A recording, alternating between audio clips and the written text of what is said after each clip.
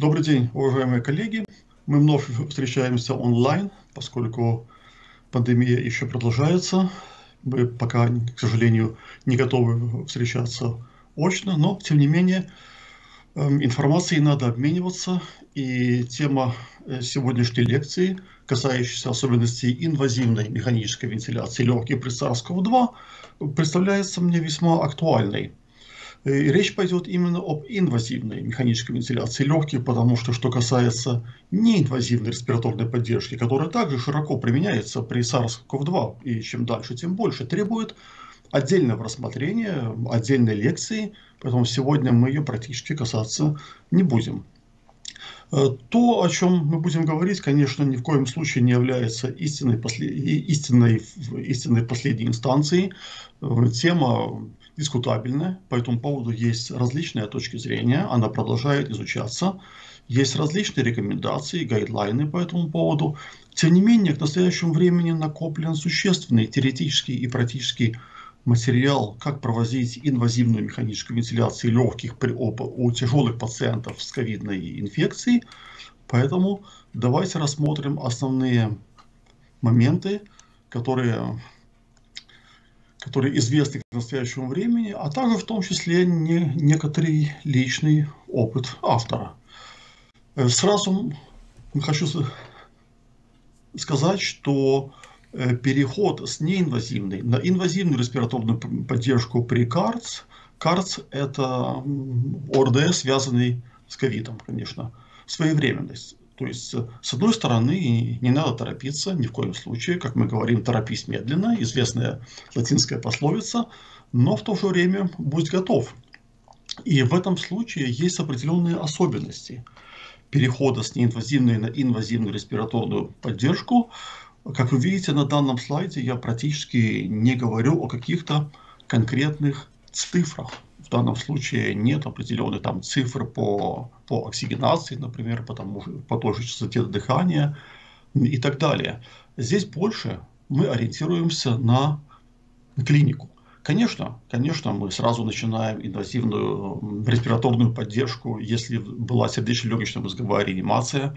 Конечно же, если есть э, остановка спонтанного дыхания, с другой стороны, если мы видим пациента прогрессирующее бразипное или тахипное с поверхностным дыханием клинически, активное участие в, дых...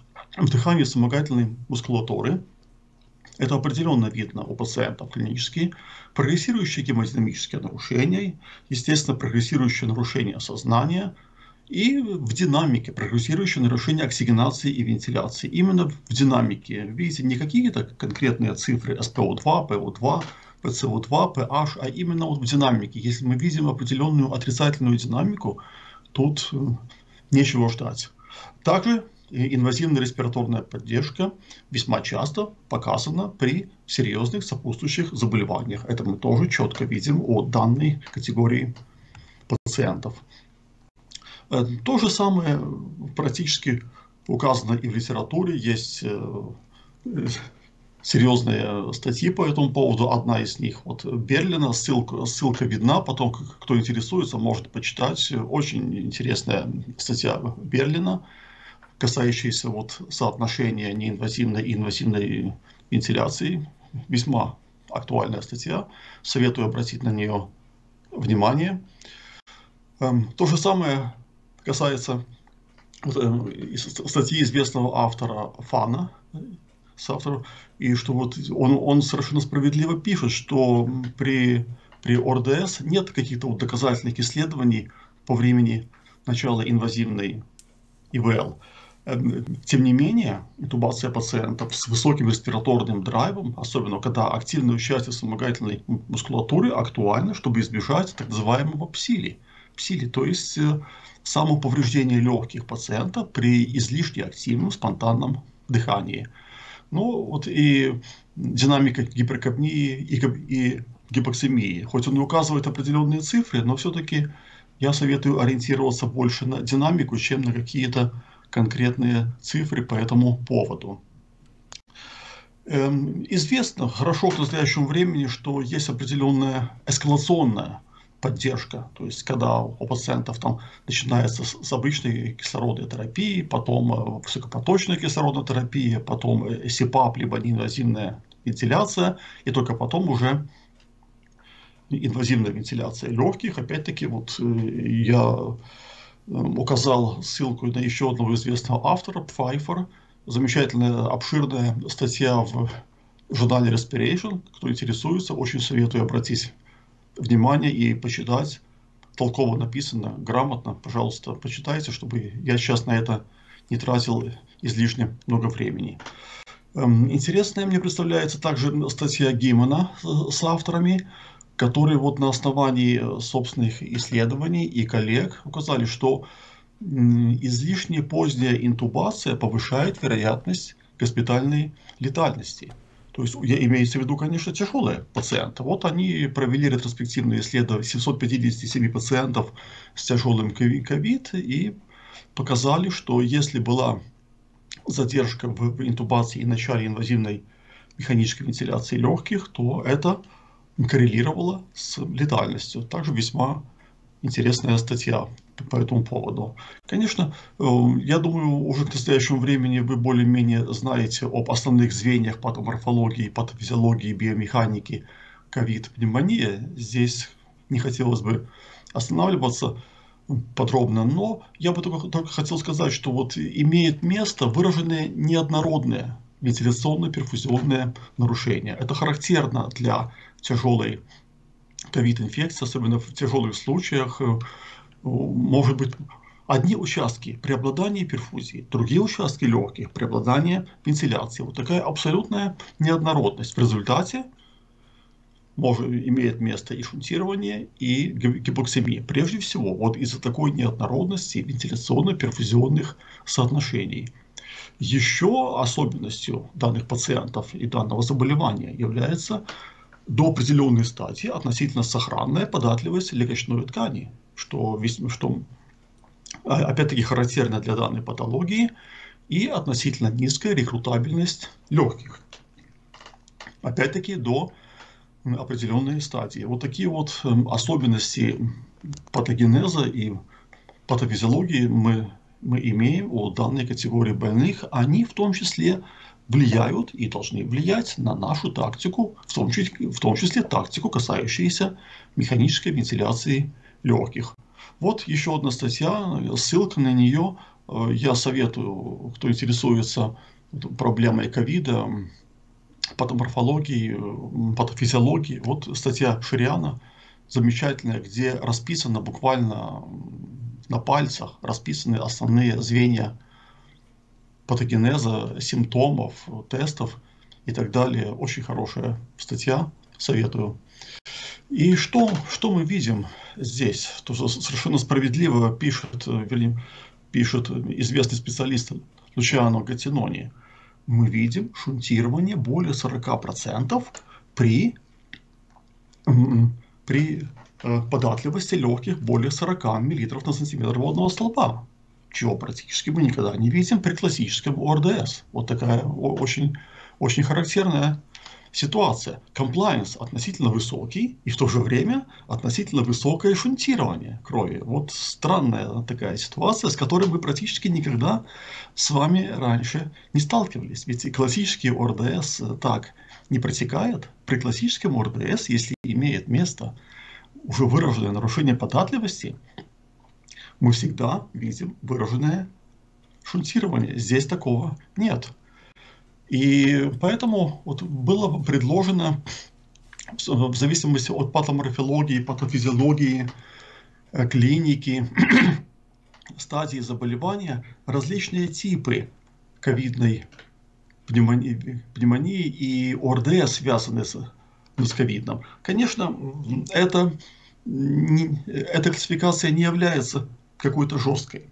Не все, эм, не все эксперты ее признают. Поэтому дело не в самой классификации, а Лучану Гатинони с автором хотели обратить внимание на необходимость индивидуального подхода к данным пациентам и на разных стадиях заболевания. При разной тяжести заболевания, есть свои особенности. Вот на что они хотели обратить внимание, а не какие-то э, очень такие жесткие рекомендации, жесткие классификации и, и так далее. Потому что вот эта дифференциация важна с точки зрения тактики респираторной поддержки, а не классификация ради классификации. Вот в чем дело. Поэтому, поэтому вот такие фенотипы эм, разные по структуре и времени заболевания, но схожие по гипоксимии. И, возможно, первый вариант переходит во второй, тип 1, тип 2, там, LH. Дело, опять-таки, повторю, не в названии, не, не в названии, а он связан с дифференцированным подходом к тактике респираторной поддержки.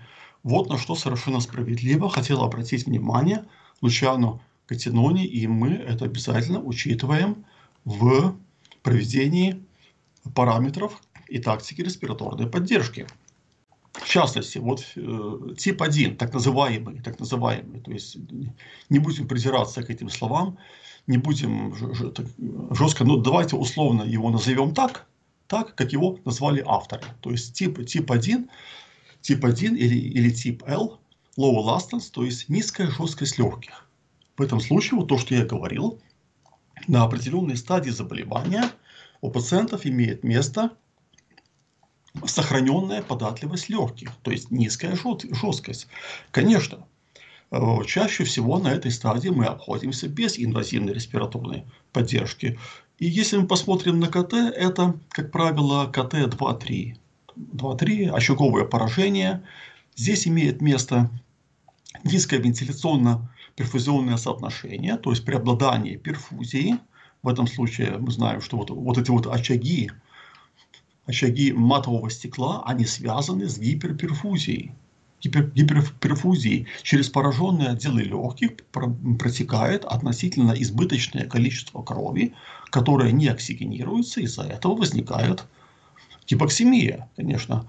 Но в этом случае еще относительно сохранена реакция оксигенации того же ПО2 или СПО2 на концентрацию кислорода. И мы видим, что эти пациенты требуют относительно большой концентрации кислорода. Сохраненная податливость легких, если вы ее измерите на этой стадии у данного рода пациента, то комплайенс будет больше 40. Вот.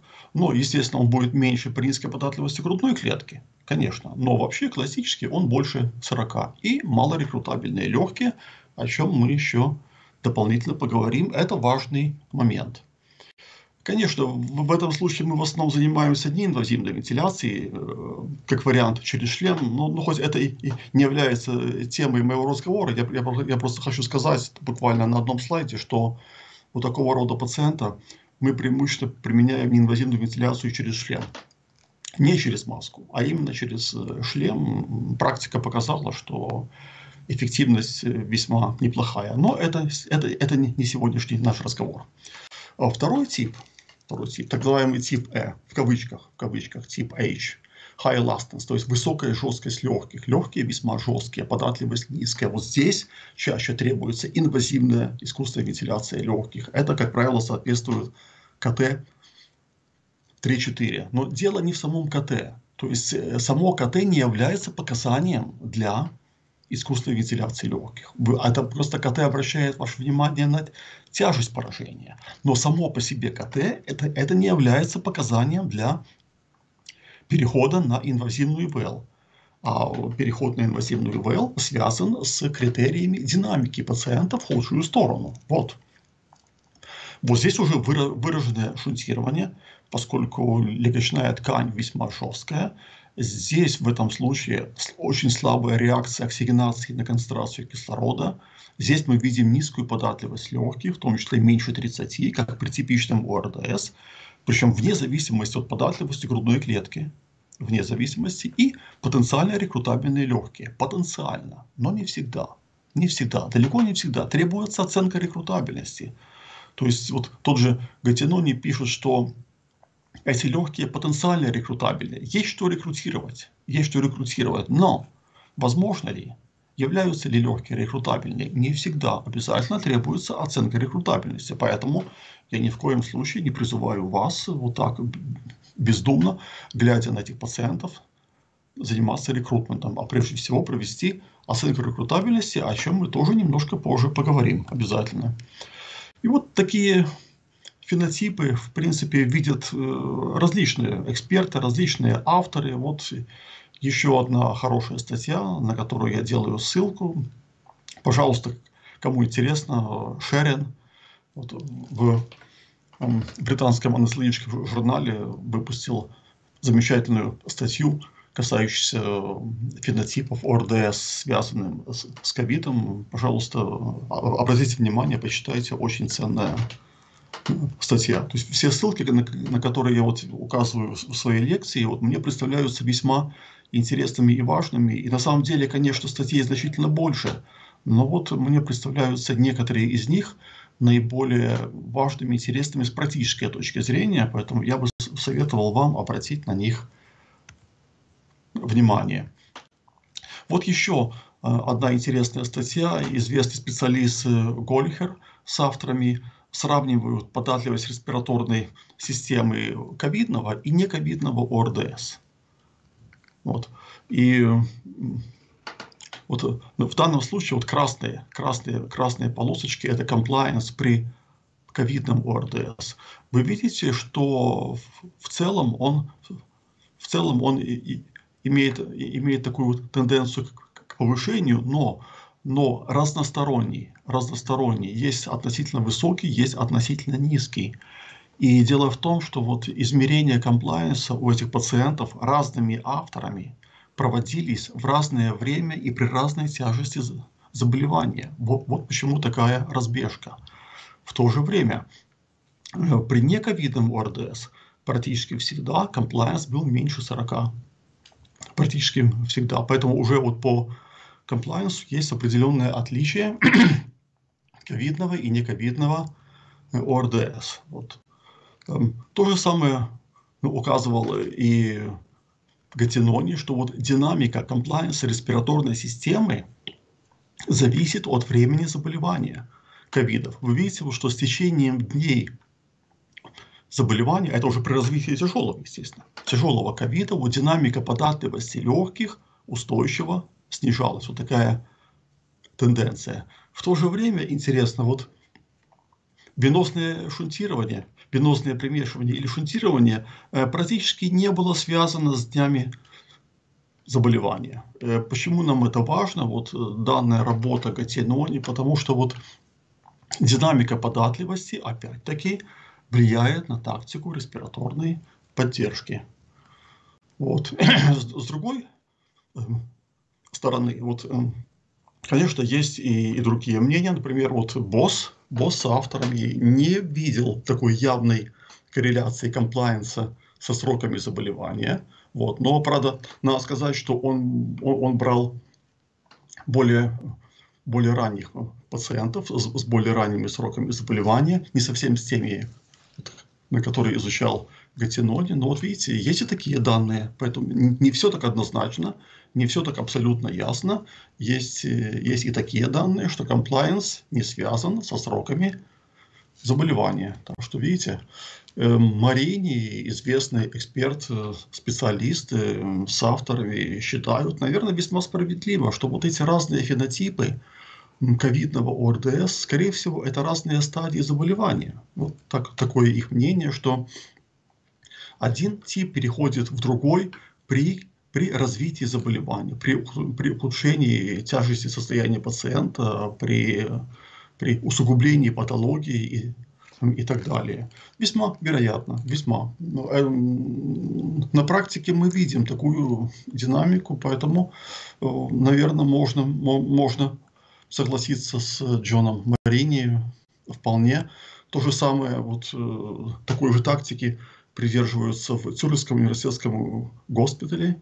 Недавно была замечательная презентация доктора Бюллера из этого госпиталя. Тоже они рассматривают различные фенотипы ОРДС при ковиде как разные стадии заболевания и, соответственно, меняют свою тактику респираторной терапии. То есть э, тоже то же самое касается, вот еще одна замечательная статья Шерена, Шерена касающаяся тактики респираторной поддержки при SARS-CoV-2 в зависимости от стадии заболевания.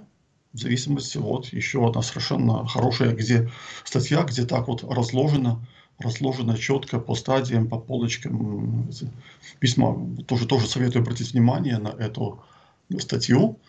И э, принципы ИВЛ, соответственно, должны меняться в зависимости от того, что мы видим о, о пациентах. Вот у пациента с первым типом, так называемым, в кавычках L, в кавычках, пястки, это какая-то жесткая ну, классификация.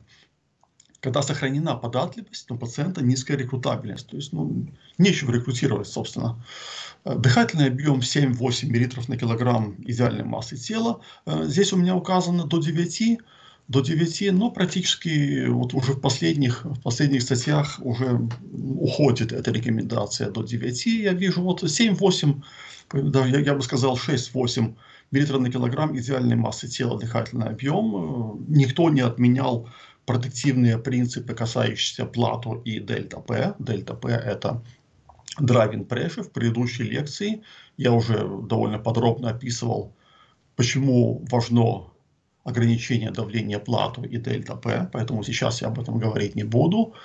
ПИП 8, 8, 9, 10 сантиметров водного столба. Оно может быть больше при низкой податливости грудной клетки, например, у пациентов с, с ожирением, с гипергидратацией, э, с какими-то анатомическими особенностями грудной клетки, с синдромом абдоминального компартмента, но э, у других пациентов, у которых нет клинических признаков податливости грудной клетки, не больше, нет большого смысла работать с высоким ПИ, потому что эти пациенты малорекрутабельные.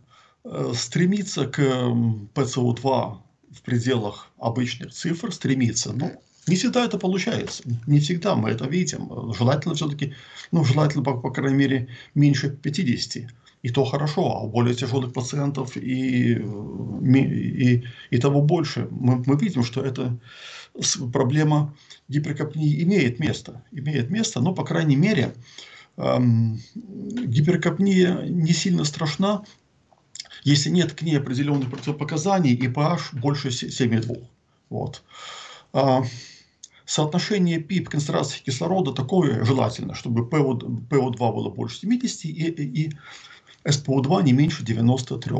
Здесь, здесь вот именно ПИП, соотношение ПИП и концентрации кислорода в пользу концентрации кислорода.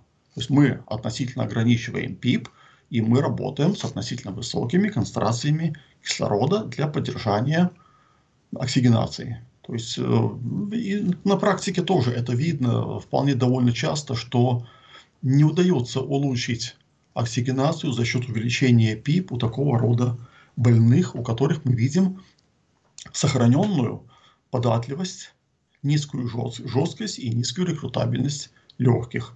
Ограничение спонтанной дыхательной активности, ну, в данном случае мы не можем говорить о полностью подавлении спонтанного дыхания, но где-то седация до раз минус 3, приблизительно это, это вполне, вполне желательная желательный уровень седации, чтобы у пациента не было избыточных попыток самостоятельного вдоха. Мониторинг речной механики. Почему я об этом пишу? Мониторинг. Казалось бы, само собой разумеющийся, но именно у этих пациентов это наиболее важно, потому что у них может быть быстрая динамика легочной механики. Относительно быстрая. Утром вы видите одно, вечером совсем другое. Я еще покажу примеры по этому поводу соответствующие и, и, мониторинг спонтанных дыхательных усилий, P01, PMI. Ну, важный момент, но, может быть, как-нибудь мы еще э, при случае отдельно поговорим с вами о мониторинге спонтанных дыхательных усилий. Сейчас этому тоже уделяется э, много внимания. Если мы говорим о сохраненных спонтанных дыханиях у данных пациентов, то есть мы полностью не угнетаем спонтанные вдохи, то обязательно синхронизация при сохраненных спонтанных дыханиях. Синхронизация, то есть обращать внимание на хорошую синхронизацию между аппаратом и пациентом. Тоже, в принципе, отдельный разговор, но пока ограничимся только этим положением. Вот. Плюс оценка рекрутабельности. Оценка рекрутабельности тоже мы, я еще скажу, как это можно сделать. И еще раз хотел бы подчеркнуть, это признают многие эксперты, исследователи, авторы, что вот высокий ПИП у пациентов КАРЦ сохраненные податливости легких практически не работают. Не работает. Вот интересный момент, обратите внимание. Вот, э, вот compliance респираторной системы, вот пишет Бонни с авторами. ПИП-16. ПИП-16, который они выставляли с самого начала, вот, и, а потом уже смотрели у пациентов рекрутабельные, нерекрутабельные. И у пациентов нерекрутабельных, сохраненной податливости легких, вот снижение ПИП до 8 см водного столба увеличивало податливость легких. Мы это тоже видим. Причем это весьма достоверно, показатель весьма достоверно. У них была, была возможность отдельно изучать податливость не только респираторной системы, но и податливость легких благодаря изучению транспульмонарного давления. И вы видите, какая огромная разница. Вот податливость самой легочной ткани, не респираторной системы, самой легочной ткани 47 при 16 пип и 64 при 8 пип. То есть получается, что вот высоким, работая с высоким пип, более 10-12 см водного столба, мы перераздуваем легочную ткань. И, и это справедливо. Э, динамикой оксигенации не было достоверности, но мне представляются важными эти, эти моменты, что ограничивая уровень ПИП у пациентов с сохраненной податливостью легких, мы э, профилактируем перераздувание легочной ткани, что не может не сказаться на функциональной способности легких и, соответственно, результатах лечения. Вот. То же самое наблюдали и другие авторы. Вот э, видите, практически идентичная статья Цолаки и, и соавторы, практически то же самое, то что это не единичные исследования. Не единичные. Вот кто интересуется, пожалуйста, можете почитать дополнительно более подробно. С другой стороны, вот, э, тип 2 или ну, так называемый H-тип, условно, конечно, условно, это изменение, низкая податливость, потенциальная рекрутабельность. Вот здесь надо в большей степени ограничивать дыхательный объем, буквально 5-7 литров на, на килограмм идеальной массы тела. По плату и дельта П то же самое, конечно. Здесь мы можем позволить увеличение уровня ПИП, конечно. Здесь эм, честно говоря, сложнее с уровнем капней. Мы видим у ряда этих пациентов серьезные проблемы с достижением приемлемой, приемлемого уровня капней. Бывает очень трудно этого достигнуть. Ну, здесь в скобках пишу минус 50, э, меньше 55, но на самом деле э, хорошо, если меньше 60 бывает. Бывает и так этих пациентов. Но если pH больше, чем 7,2, и нет явных противопоказаний к пермиссивной гиперкапнии, то это не является большой проблемой. Здесь уже соотношение ПИП и концентрации кислорода, чтобы ПО2 было больше 60, уже и то хорошо, и СПО2 больше 90, 92, 94 было бы замечательно и достаточно для этого пациента. Вот здесь мы можем уже регулировать и ПИП, и концентрацию кислорода. Здесь мы в большей, у нас в большей степени развязаны руки. Мы можем работать с э, различным сочетанием ПИП и концентрации кислорода. Не только в пользу увеличения концентрации кислорода, но также в пользу увеличения уровня ПИП у пациентов с низкой податливостью легких. Вот здесь мы в большей степени угнетаем спонтанную дыхательную активность. Уже седация до раз минус 4, минус 5. Может быть, вполне бывает необходимость в миорелаксации в первые 24-48 часов. Бывает такая необходимость в остром периоде. Да, это, это есть. Обязательный мониторинг легочной механики и оценка рекрутабельности. Поскольку, опять-таки, у этих пациентов чтобы принять решение о, о работе с высоким уровнем ПИП или вообще рекрутменте, обязательно оценка рекрутабельности, потому что часть из них рекрутабельны, часть из них нет. Ведь они, они потенциально рекрутабельны. Но это абсолютно не значит, что все, все, все они рекрутабельны. Абсолютно это не значит. Поэтому надо обязательно оценить степень рекрутабельности. И очень желательно оценка функции правых отделов сердца через УЗИ. Очень, очень желательно, поскольку, опять-таки, у этих пациентов мы видим эм, порой серьезные проблемы в сократительной способности правых отделов сердца, особенно право, право предсердия, и поэтому, увидев подобные проблемы, мы не можем работать с высоким уровнем ПИП. Вот, поэтому очень желательно оценить функции правых отделов сердца через УЗИ. А, почему вот я хотел бы очень, опять-таки очень коротко сказать, о чем уже я говорил в предыдущей лекции, что вот угнетение самостоятельных дыханий важно с точки зрения профилактики самоповреждения легких при спонтанном дыхании. Это известно уже несколько лет. Концепция псили пусть не всеми признается, пусть и некоторыми оспариваются. Опять-таки это неоднозначное, но э, на практике мы видим нечто похожее, поэтому вот ограничение спонтанных дыханий в остром стадии это, это важно. Видите, Марине и Гатиноне даже вот такую вот, э, вот такой замкнутый круг создали отдельно для карца, то есть ОРД связанным с ковидом, что повышенный респираторный драйв э, действительно может приводить к вентиляционно вызванному повреждению легких, при этом имеет место растяжение сосудов, усиление отека, концентрация нагрузки, нагрузки, когда э, и растяжение сосудов, и усиление отека легких, и, и дополнительное растяжение отделов легких приходит как будто вот такому концентрацию нагрузки, и поэтому в данном случае может сокращаться эффективный объем легких, то, что называется baby lung, то есть легкие младенца, и усугубляет гипоксимию. Поэтому в острой стадии заболевания важно проводить угнетение самостоятельных дыханий. В принципе, вот э, похожая тактика э, имеет место при разных гайдлайнах, разных рекомендациях. Это рекомендации ФАР, Федерации анестезиологов и ревматологов России.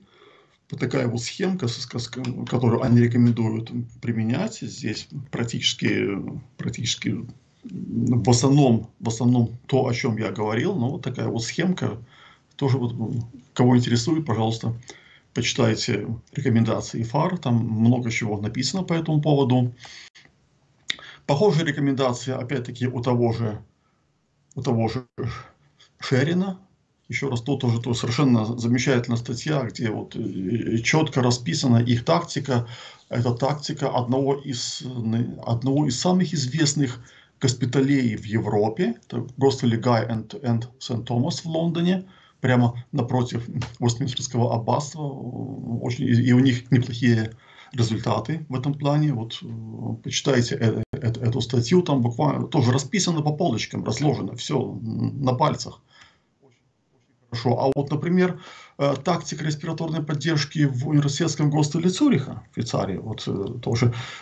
Здесь, видите, практически то же самое, но вот они используют, они, они вот после высокопоточной оксигенотерапии, минуя неинвазивную вентиляцию, сразу переходят на механическую вентиляцию легких. Вот видите, видите, то есть есть свои особенности, свои тактики в разных известных госпиталях, поэтому вот интересно. Но посмотрим, сейчас они собираются опубликовать свои данные, предварительные данные, у них смертность от ковида в реанимации, от тяжелого ковида, у них только тяжелые пациенты с ковидом в реанимации приблизительно 20%. Весьма немного. Весьма немного. При этом интересно, что они вообще в реанимации не применяют неинвазивную вентиляцию. Вот видите, то есть есть, есть разные особенности тактики, поэтому интересно. Вот. Что, что мы видим, опять-таки, вот говоря о тактике и говоря о сравнении ковидного РДС и нековидного РДС. Вот э, оксигенация. Практически, практически одинаковое нарушение оксигенации. Что у ковидного, что, что у нековидного РДС. А вот compliance, вот compliance легких, в среднем, в среднем при ковидном ОРДС достоверно больше, чем при нековидном РДС. Вот. Это, э, это, это еще раз подчеркивается в разных исследованиях. Тут самые, самые раз, разные статьи есть по этому, по этому поводу. И вот если, если мы возьмем эти вот ковидный, ковидный и классический ОРДС, то вот интересно, интересно получается, что вот Грассель выпустил очень интересную работу, статью, видите, compliance достоверно больше при ковидном ОРДС, но, но вот э, вес легочной ткани, которую они измеряли по специальной методике через КТ, практически достоверно не уменьшался. Вот интересно. То есть само себе поражение практически в этом плане было одинаковое, а при, но при этом compliance, compliance э, достоверно больше при ковидном РДС. Вот такое вот интересное такие данные. Кио Мелло, известный итальянский специалист, э, представил замечательную статью. Он э, сравнивал по, по тяжести заболевания ковидные и нековидные ОРДС, если, если он брал, например, пациентов с одинаковой оксигенацией, ковидный и нековидный ОРДС. Вот одинаковая оксигенация, одинаковая. При этом, при этом при КАРЦ, то есть ковидном ОРДС, податливость была значительно больше, чем при нековидном ОРДС. То есть вот э, все-таки отличаются они, отличаются они по этому поводу. А если брать одинаковый комплайенс, одинаковый комплайенс, то при этом оксигенация была значительно меньше при ковидном ОРДС.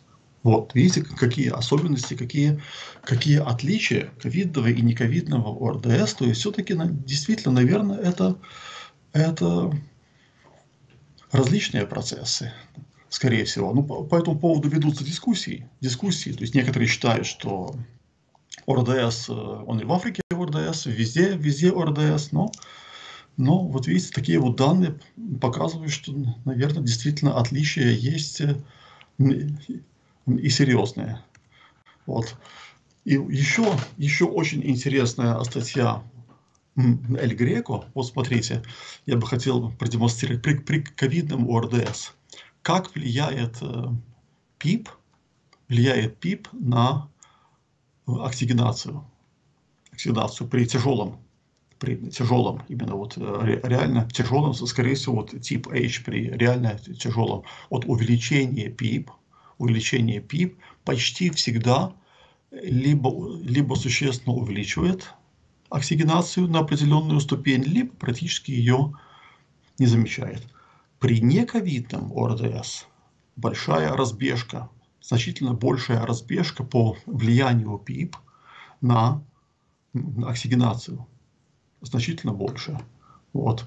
И в этом случае, в этом случае, вот видите, мы, то есть тактика все-таки все-таки должна быть э, различная, что мы и видим на практике. Поэтому вот обращаю внимание различные авторы по этому поводу.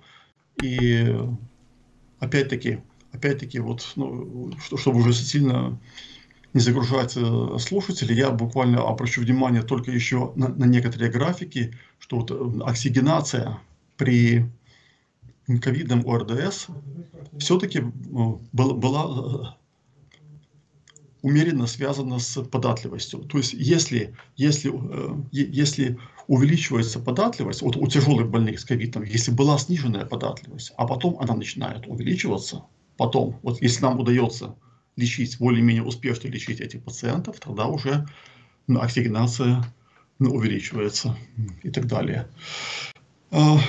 Ну, э, конечно, конечно, вот э, есть точка зрения, она, она присутствует. Я почему говорил, что это все дискутабельное, и говорят, что ОРДС, он, э, он всегда ОРДС. Вот, например, типичный ОРДС, типичный нековидный ОРДС, вот Панвар при, приводит данные, что при типичном ОРДС тоже есть похожие фенотипы, связанные с, с податливостью. Есть, э, есть эм, ОРДС в значительной степени, compliance меньше 40, есть э, как бы такой промежуточный вариант при типичном ОРДС от 40 до 50, а есть ОРДС, у котором compliance больше 50. То есть, видите, вот э, данные, данные авторов, противоположность тому, что э, тех, о которых я указывал раньше, говорят, что вот при типичном ОРДС мы тоже видим похожие фенотипы. Поэтому, конечно, не, не все так однозначно, не все так э, определенно, но я не вижу здесь большого противоречия, потому что ведь на самом деле вот что это за пациенты с разной податливостью при типичном ОРДС? это пациенты тоже с разной рекрутабельностью все-таки. Поэтому вот на прошлой лекции я подчеркивал, что необходима оценка рекрутабельности у этих пациентов.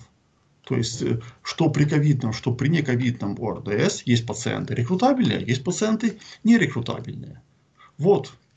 Вот, и опять-таки в этом плане, э, что общего между вот различными авторами, экспертами, пусть даже порой немножко противоречащими друг другу, но мы видим много общего. В частности, надо оценивать рекрутабельность и тактика будет существенным образом зависеть от рекрутабельности этих пациентов. Поэтому я здесь не вижу больших противоречий и в том случае, если мы будем все-таки индивидуально подходить к, респираторной поддержке и у, тех, и других пациентов. Вот. Ну, э, еще вот, э, что мне, мне хотелось показать вам, вот была, была э, интересная статья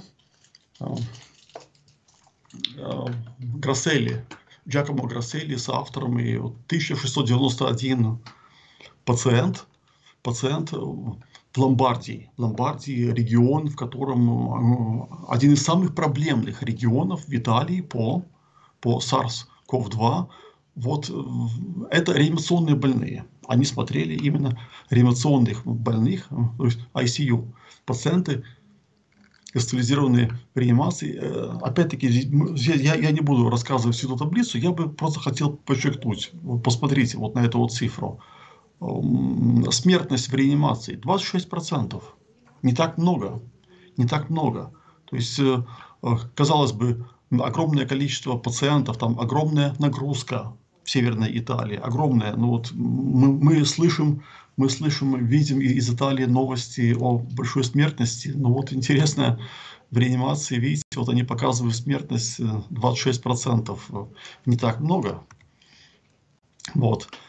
И еще а, у того же, у того же автора, Джакомо Грасселли, э, интереснейшая статья, в которой он, себя, он сравнивает compliance с дедимерами. И вот э, он определил, что наихудший вариант, наихудший вариант, влияющий на смертность, то есть наименьшая вероятность выживаемости была в тех случаях, когда у пациента имело место и сниженная податливость, и выраженное увеличение детимеров. Вот в этом случае, в этом случае эти пациенты оказываются наиболее тяжелыми, у них наибольшая вероятность смертности, поэтому вот именно на этих пациентов они советуют обращать более тщательное внимание и, соответственно, дополнительно лечить, проводить дополнительную медикаментозную терапию в тех случаях, когда есть динамика роста дедимеров, то есть может быть более активная антикоагулянтная терапия, более, более щадящая вентиляция легких и так далее. Вот видите, такие интересные есть данные.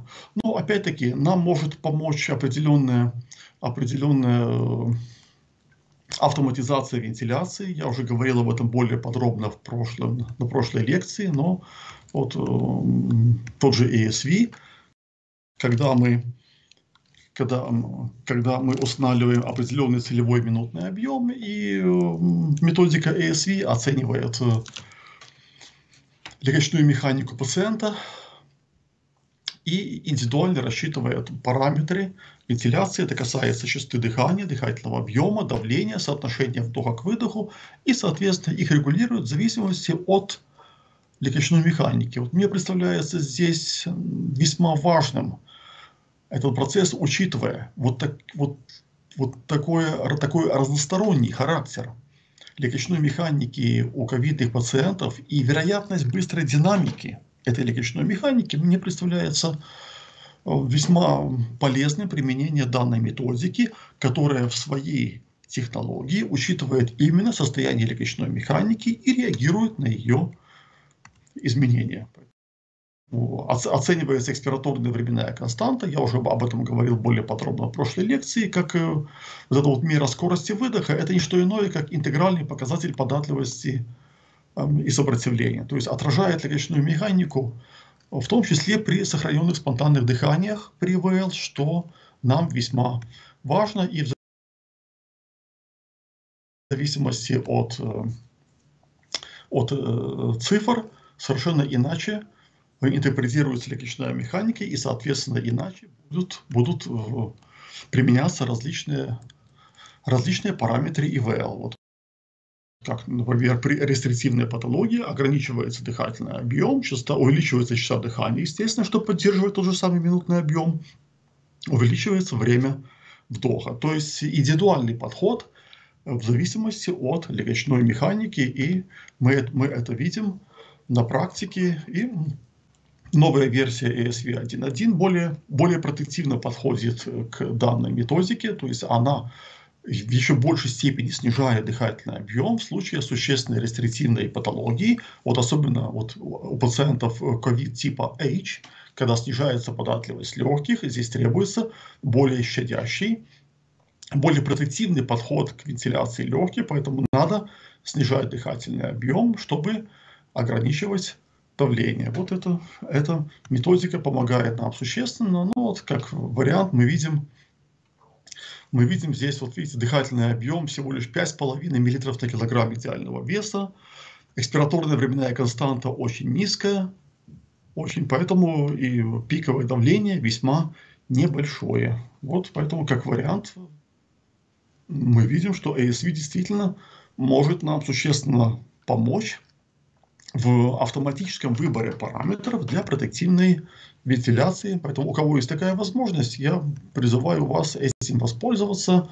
В позапрошлом году Жан-Мишель Арнал выпустил по этому поводу специальную статью на большом количестве пациентов. Он показал, что действительно, действительно и дыхательный объем, и плату, и дельта-П Эм, применяются в виде протективных цифр, протективных значениях у пациентов с ОРДС. То есть, действительно, на самом деле, так и есть. Ну, конечно, это были не ковидные пациенты, но практически, практически то же самое мы видим и у ковидных пациентов на самом деле.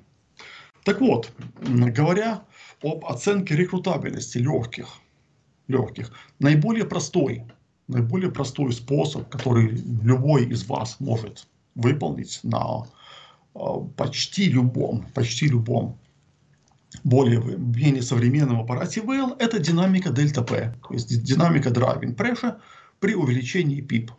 Вы увеличиваете PIP на 4-5 см фотного столба, увеличиваете и смотрите.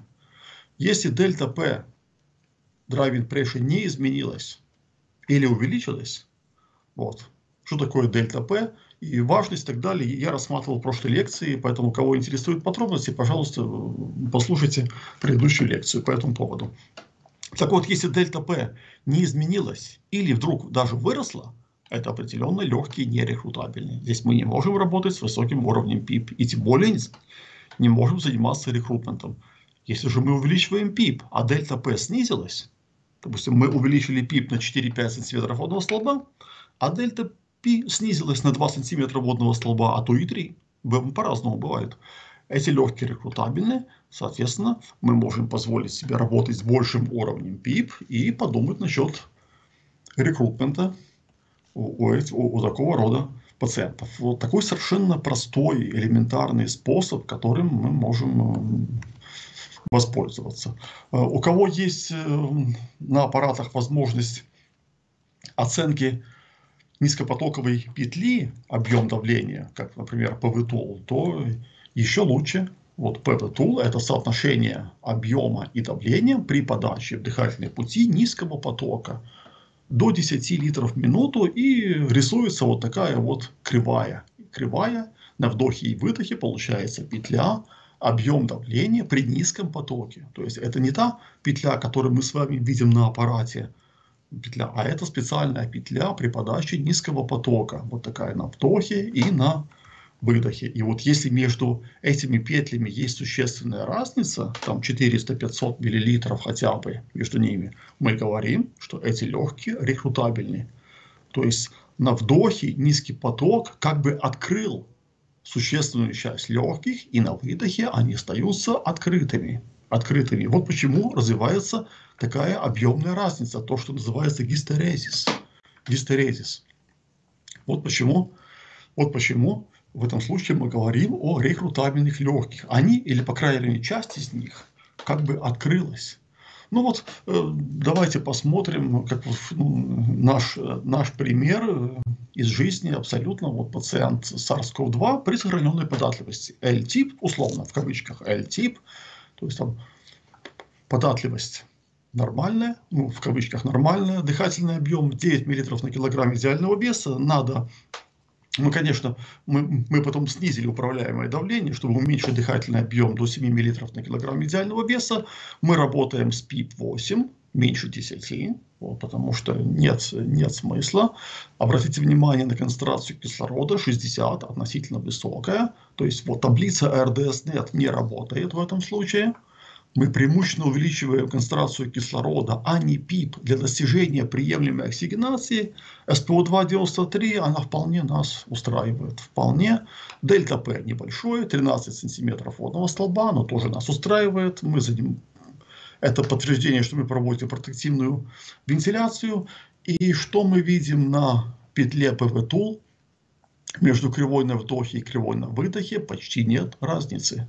Гистерезиса почти нет значит, эти легкие нерекрутабельные. Это дополнительное подтверждение, что данные легкие данного пациента нерекрутабельные, мы не можем работать с высоким PEEP, и recruitment не показан. Вот такой вот весьма, а, весьма четкая такая картинка, которая показывает нам нерекрутабельные легкие на петле PV tool у пациента SARS-CoV-2 с сохраненной легких. Вот такая Видите, здесь все становится на свои места, когда мы видим вот такую картинку. H-тип. H-тип. Вот. В данном случае. Вот. Видите, вот я, ну, тут может быть не очень хорошо видно, обратите внимание. Вот экспираторная временная константа всего лишь 0,23 секунды. То есть определенно низкая податливость легких. Даже я смотрю не на эту вот цифру. Ну, тут там что же, всего лишь податливость респираторной системы всего лишь 27 миллилитров на цветр водного столба. Но вот меня интересует экспираторная временная константа всего лишь 0,23 тоже проводим, естественно, протективную вентиляцию дельта P13. Вот, пожалуйста, вот эта цифра. Аппарат нам показывает дельта P13. То есть мы убедились, что проводим протективную вентиляцию. Здесь, обратите внимание, мы работаем с большим, значительно большим PIP 16 и относительно меньшей концентрацией кислорода. Ну, в данном случае, поскольку технология почти полностью автоматическая, мы работаем в режиме IntelliVent, IntelliVent сам определил эту концентрацию кислорода, а ПИП, ПИП мы установили вручную. Вручную, потому что нам требуется больший уровень ПИП. И э, так, ну вот, дополнительно я, я просто хотел вам еще показать, это волюметрическая каптография, вот ВЦУ-2, ВЦУ-2 357, то есть у пациента, идет, у пациента относительно активный катаболизм катаболизм, поэтому ему, ему надо больше минутный объем. Понятно, почему у него относительно высокий СО2 и требуется 165% минутного объема, то есть на 65% больше, больше, чем физиологические. Но в данном случае не проблема, потому что pH приемлемая. Но вот видите, высокий катаболизм у этого, у этого пациента. Активная, активная наработка СО2. Понятно, почему высокий, высокий СО2 и требуется больше минутный объем. То есть, ну, э, при такой методике мы не боимся увеличивать минутный объем, потому что ASV все равно не увеличит дыхательный объем, а преимущественно увеличит частоту. Поэтому мы не боимся увеличивать минутный объем, работая с ASV. Эм, вот. И здесь, когда мы, здесь, когда мы оцениваем рекрутабельность по PV Tool, смотрите, совсем другая картина. Вот мы видим, вот мы видим вот такую на вдохе и на выдохе, мы видим разницу, объемную разницу между этими кривыми, то есть уже более выраженный гистерезис. В данном случае мы видим, что легкие рекрутабельны, потому что есть, есть э, определенный гистерезис. Гистерезис 400 мл. Вот. Это показывает, что эти легкие рекрутабельны, и можно вполне, мы можем работать с более высоким уровнем PIP, и мы можем проводить э, рекрутмент. Вот вот мы провели рекрутмент. той же самой методикой мы провели рекрутмент, мы получили дополнительный дыхательный объем. Это не что иное, как объем рекрутмента. Мы дополнительно получили 340 мл объем рекрутмента. То есть э, в этом плане вместе с увеличением СПО2 и вместе с увеличением податливости мы можем быть уверены, что данный прием рекрутмента был вполне успешен. Поэтому вот, вот такого рода методики, ну, относительно новые технологии, относительно помогают нам в режиме реального времени понять, является ли пациент рекрутабельный, и если да или нет, то, соответственно, менять тактику респираторной поддержки в зависимости от рекрутабельности. Мне представляется, что вот у, у тяжелых пациентов SARS-CoV-2 с ОРДС, связанным с ковидом, это наиболее актуально. Может быть, даже более актуально, чем при классическом ОРДС, поскольку здесь есть свои особенности и своя динамика легочной механики. Вот, поэтому вот и дальше, дальше. Есть пациенты, с которыми мы столкнулись, с быстрой динамикой. Рекрутабельные, нерекрутабельные легкие. Вот буквально в течение меньше суток, меньше суток, когда удалось, удалось э, э, еще раз сделать КТ тоже, сделать КТ, усугубилась картина в легких, и мы увидели, что, что уже пациент из рекрутабельного стал нерекрутабельный. Нерекрутабельный. На ПВТУЛ мы видим очень маленький гистерезис, очень низкий гистерезис.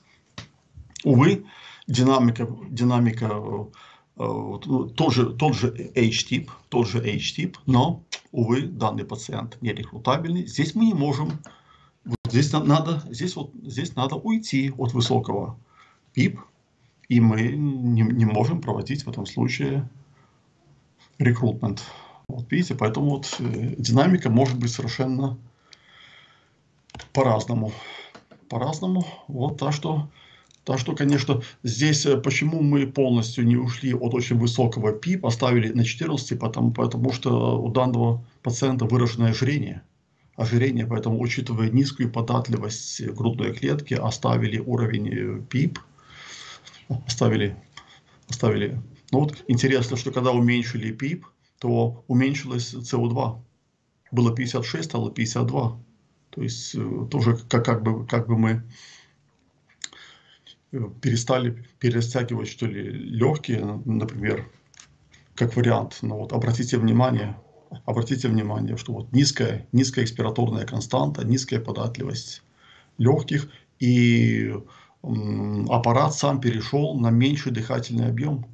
Если перешел всего лишь 5 мл на килограмм идеального веса. Вот. Что совершенно справедливо. Дельта П12. Мы уверены, что проводим протективную вентиляцию. И это важный момент. По крайней мере, по крайней мере, сохранить то, что есть. То, что есть. А, ну, а дальше уже как получится.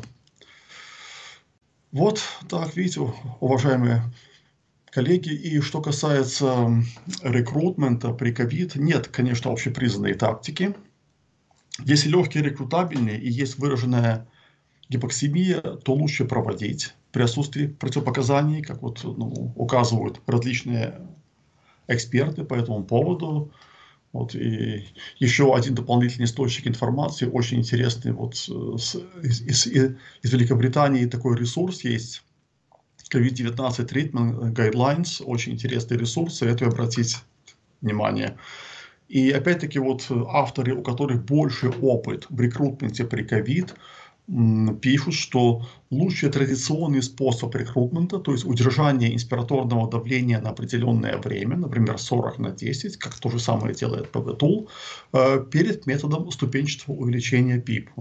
Так они считают но еще раз обращает внимание на оценку гемодинамики и правых отделов сердца, потому что если есть проблема с правыми отделами сердца, то лучше не заниматься рекрутментом и не заниматься работой с высоким уровнем ПИП. Но если вы провели рекрутмент, если вы провели после рекрутмента достаточно высокая ПИП, там не менее 15, 16, 17 сантиметров водного столба.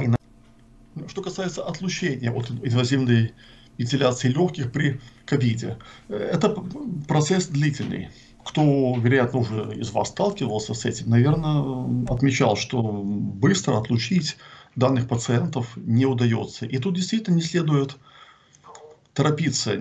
Тут это процесс весьма, весьма такой растянутый во времени. Это, опять-таки, наверное, связано с особенностями патоморфологии и э, патогенеза ковида, что легкие восстанавливаются очень медленно. Скорее всего, скорее всего из-за этого. Поэтому здесь не надо торопиться, здесь э, постепенно нужно, нужно отлучать пациента. Общие принципы, в общем-то, действуют в целом, но медленнее, медленнее. Просто постепенно нужно снижать поддержку, постепенно э, ориентироваться не только на оксигенацию, но и на вероятность тахипноя. Эти пациенты э, реагируют посредством тахипноя в том случае, когда они еще не готовы э, к тому снижению поддержки, который вы им предлагаете. И э, обязательное условие, вот, вы сначала снижаете концентрацию кислорода, а потом ПИП. То есть, ну, это, это, в принципе, это вообще такой является, является особенностью отлучения у любых пациентов, но особенно у этих, особенно, вы уменьшаете концентрацию кислорода, не снижая ПИП. А потом уже вы снижаете уровень ПИП. По возможности применения автоматизированных технологий очень помогают в отлучении, мы это видим.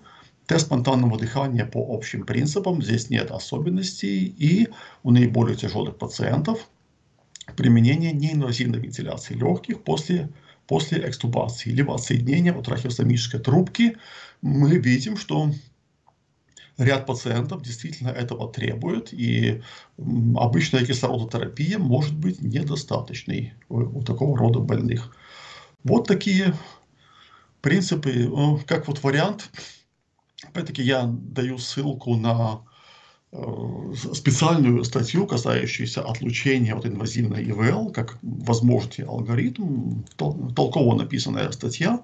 Вот кого более подробно это интересует, и в цифрах, если вы хотите вот, представить какие-то цифры, представить, вот, пожалуйста, очень хорошая статья, робы с авторами, пожалуйста, почитайте. Э, все статьи, касающиеся ковида, доступны для скачивания, они бесплатные, поэтому, пожалуйста, читайте. Вот. Ну, у кого есть возможность, все-таки применяйте умные технологии для отлучения, в частности ASV, потому что ASV автоматически снижает поддержку в зависимости от речной механики.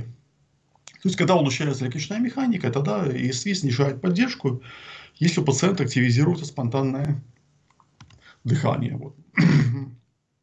Мы это видим, э, вот в данном случае, видите, вот у пациента 16 в минуту. Но ну, это, это не ковидный пациент, я просто хотел показать, поскольку давление всего лишь 10, поддерживающее давление всего лишь 10, мы, мы, видим, мы видим ситуацию, вот дальше по визуальному мониторингу мы видим, что пациент практически находится в зоне отлучением, такая светло-голубая зона. Это помогает нам дополнительно оценить, успешно ли мы проводим э, процесс э, отлучения. И визуальный мониторинг позволяет нам оценить речную механику и, и, и ситуацию, находится ли пациент в зоне отлучения. Это дополнительная помощь.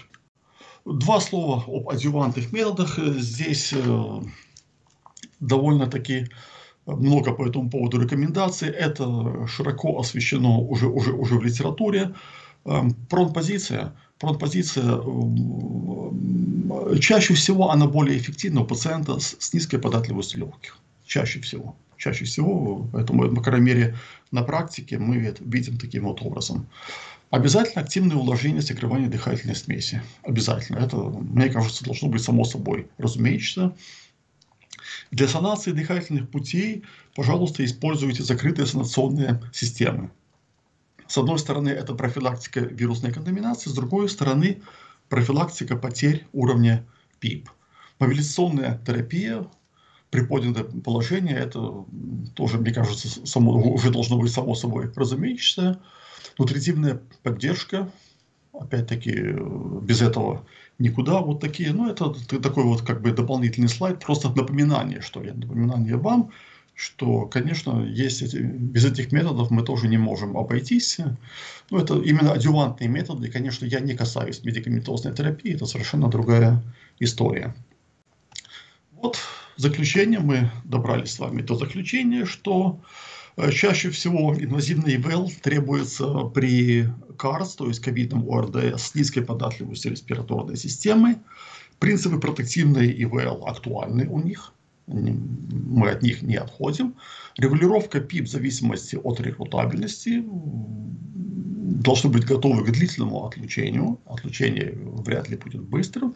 И вполне целесообразно применение автоматизированных интеллектуальных технологий, которые учитывают механические свойства легких, там ESV, IntelliVent, у кого из вас что есть, а также технологии для рекрут... оценки рекрутабельности, тоже, тоже PV-tool и, и так далее.